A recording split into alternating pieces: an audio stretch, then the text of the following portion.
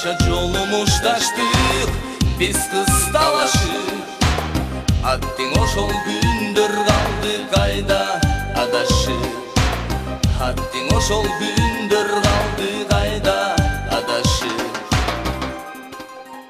өмүрдүн эң баалуу учурларынын бири бул алтын балалык. Сен чоңойгон үй туулуп өскөн айыл а тамгасын тааныткан алгачкы мугалимиң. Мунун баары баяоо сезим балалыкты эстетет. Ошол артта калган күндөрдү кимдер гана сагынбаган. Алардын арасында тамошо долбоорундагы нонейм командасынын капитаны муратжалиев да бар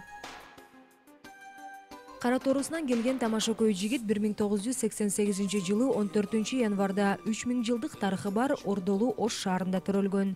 Жаманга жанашсаң каласың уятка жакшыга жанашсаң жетесиң муратка демекчи. Каарманымдын ата энеси көптөн күткөн уулуна ар дайым жүрсүн деген таризде мурат деген ысым ыйгарышат. Мен төрөлгөндө апамдын айтуусу боюнча мен ооруйт экен элем оорукчан болуп экенмин.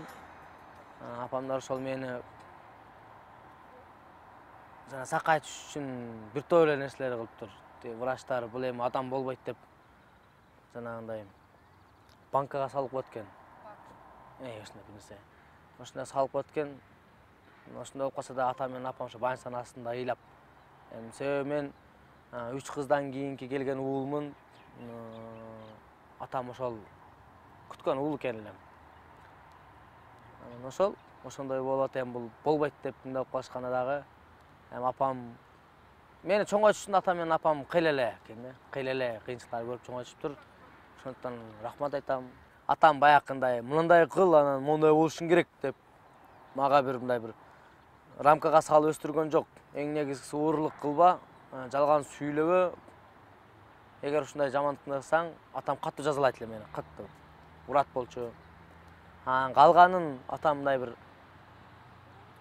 мектептен сатып жерде келишиң керек анан мындай кылышың керек деген жок да андай тарбияда көрбөдүм атам кенен эле кое берди бирөө менен урушуп келип токмок жеп келсең деле болушпайт болчу башка кылбайт болчу эң негизгиси ушу жалган сүйлөбөш керек эле анан урдабаш керек эле а бирок мурат мырза тентек эрке мүнөзүнүн айынан атасынын чөнтөгүнөн акча уурдап токмок жегенин азыркыга чейин унутпайт атасынын муштумунан катуу коркуп калган бала андан кийин мындай иштерге барбай калган экен атам чөнтөгүнөн канчанчы класс экен алтынчы класс эсимде жок точно билем баягы курманжан датканын эски сому эле ал убакта элүү сом деле кыйла акча болчу магазинге бардым нормальный эле болгон шоколаддарды алып жеп мынтип канча алып жесем деле анан мынанча сом болду эле кайра көп зачет коюп эми мен азыр ойлосом ушундук көп акча экен эле алып жеп келгенбиз еще дагы кичинекей бир тагам кызы бар болчу ошону ээрчитип алгам анан эми келдик келгенде келгенде эле уже үйдө ызычу да ызычу чоң эжемдер башка жактар апамдар настроениясы жок атамдар дагы настроениясы жок эмне болду экен эми кирип калдым кирип калам көрдүңбү деди эле көрбөдүм дедим чындап жалган айттым билбейм ал жак бул жак десем мен баягы жетелеп барган кичинекей кыздын оозу шоколад болуп калып сатып койгон да анан тутулуп калганбыз вот ошондо урган мен жана гостяга да айттым эле аябай катуу урган аябай катуу урган менин мына башым сүйрүк экинчи этажга чыгып этот лестницадан чыгып кетканда күзгү бар да караганымда башым тоголок болуп калган экен да даже ушунчалык жей берип анан ошол убакта үстүгө чыгып алып эң негизгиси мурун атам урушканда апам же апам урушканда атам болушчу да бирөөсүчү эми койчу депчи ошол убакта эч ким болушпайт да эч ким өзүм жалгыз өзүм өзүм жооп берем да атам катуу урду апам деле карап туруп эле урушуп болушпай койду анан мен сыртка үстүгө чыгып аябай нааразы болдум элүү сом ушунча урду баягы чөнтөгүмдөгү сдачаны алып коюшту аябай катуу урган эсимде бар. Башым гың болуп кулагым бүтүп калган да. Чыккандан кийин мен аябай катуу капа болгом да атама ушул кагаз үчүн акча үчүн эми акча үчүн ушунча акча үчүн ушунча урду мен чоңойсом дегем а кийин ойлонуп азыр ойлонуп көрсөм атама рахмат айтам да. Атама рахмат айтам. Себеби атам ошондо туура эле кылган экен. Атам ошол убакта акча үчүн эмес мен ойлоп көрсөм. Ушу балам уруу болбосун деп. Эгер атам ошондой катуу мага сезгентип катуу бир сабак бербегенде балким ошол беш жүз сом элүү сом барып жүз сомго жүз сом барып бир нерсе бир нерсеге барып азыр мен чоң бир уруу болуп кетишим мүмкүн эле. Вот ошондуктан атама рахмат айтам. Ошол ушундай тарбияны көргөм. Андан кийин такыр андай ишке барбай калдыңызбы жок андан кийин андай иш болгон жок. Эгер мага мисалы үчүн досторумун болобу же бир ким шефиме же ким баардык нерсенин бирөөсү телефон же любой нерсе жагабы мен наглый алып алам жок дегенде берип тур мен эки күн колдонуп берем деп барып уктатып берем чындап мага жакшы а так уурдап албайм демекчимин да балалыктын бир бутагы окуучулук күндөр эмеспи муратжалиевдин мектепти бүткөнүнө быйыл он жыл болот он жыл мурун мектеп босогосун аттаган кезин коногум мындайча эстейт ош областуна караштуу кара суу районундагы катта талдык айыл өкмөтүнө караштуу кара сөгөт деген айылдын ичинен төрүндө келабаз деген айыл бар. Келабаздын ичинде номерин точно эсимде калбай калды начальник класс бар. Келебазда начальник класста ошол жерде биринчи класста алгач айылда окуганмын айылдын дагы айылында окуганмын ал жерге бир айында бир жолу автобус барат болчу деп ошол жерде айылда окугам келебазда биринчи мен атам касында окуткан мен азыр деле эсимде бар ол эжекем сабира деген эжекем болгон сабира. Мен сабира эжекемиз андан кийин экинчи классты биринчи класс ошол тайжемдердин колунда окугам да. Анан экинчи класста кайра атамдар анан жок бул жака эле окусун деп шааргап келишкен номер кырк экинчи керме тоо орто мектебинде окуганбыз сентябрь айы эле сентябрь айы сентябрь ал баардыгында эле ушундай болот да баардыгында айттың баягы кийим особенно баягы жаңы ботинка алганда коробканы ачып караганда го ошолор анан баягы көйнөктөрдүн башка этикеткаларын албай. Эми бул баардыгы эле балалыкта болгон нерсе да. Анын үстүнө биз мектеп учурунда көпчүлүк болчубуз да баягы бешөөбүз. Жок эми чоң эжем го эми ал турмушка чыккан төртөөбүз калчубуз. Төртөөбүз.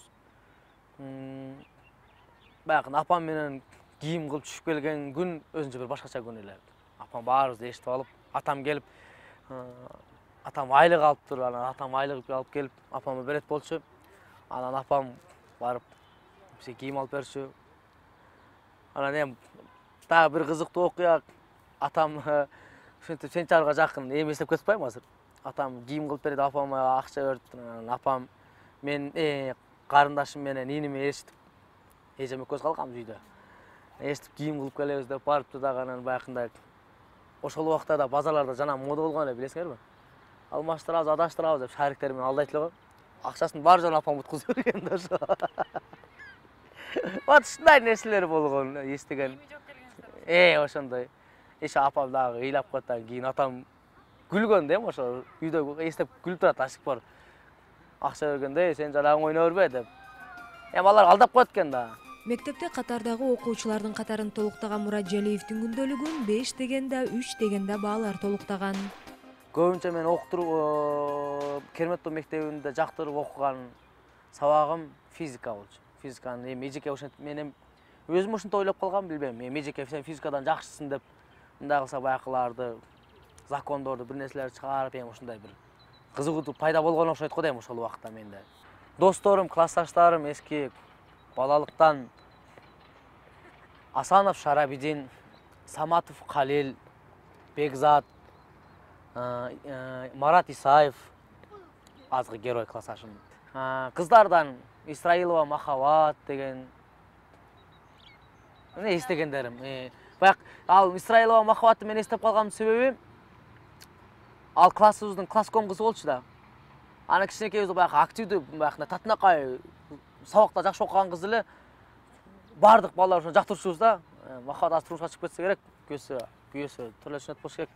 Просто это балалык деп коебу анан биринчи сүйүм дей коюп анан анын күйөөсү анан менин аялым үйдө тополоң болуп кетесиң деп коебу кыздарга кат жазган убакытка биз илешпедик. Себеби биздин ушундай өспүрүм убакта кыз менен сүйлөшө турган убакыттарда да домашка телефон бар го домашний телефон ошол аябай хит болгон анда сотка жок болчу. Домашкалар менен кайсы кыздын үйүндө телефону болсо авторитет болуп ошондой ал кыздын номерин алып анан ону апасына чакыртып эмнени сүйлөшүп элеңиздер ошондой эмне кылып атасыз эми ал балалык дагы бир нерсе да кандайсың жакшысыңбы жакшы эмне кылып атасың эмне тапшырманы аткардыңбы эми ушундай нерсе бакыт болчу да азыркы эми баркы кетти баардык нерсе окуучулук кезде атаман талашкан ар бир жигиттин башынан өтсө керек. Бул түшүнүк каарманыма да тааныш болгону менен атаман атка конгон эмес экен. Мен атаман эмес элем. Мен жаш мушташа албасам керек эле коркок болсом керек эле. Менин ушул мушташа кетчү же бир мындай бир нерсе ондой деле баягы өнөрүм жок болчу.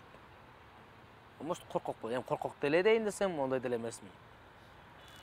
Бирок билбейм мен атамандык себеби бизде баягындай балдар бар болчу да кыйын мушташуу балдар болчу спортсмен балдар бар болчу кыйын мушташуу балдар бар болчу А, кийин университетте анан ошо мен кичине эй деп үнүм жонооруп ошол жакта кичине мектеп убакта вообще кыбырайган бала элем арык чачым мынандай ушундай бала болчумун кийин анан кичине толуп дегендей Haddin ошол күндөр калды кайда адашып Haddin ошол күндөр калды кайда адашып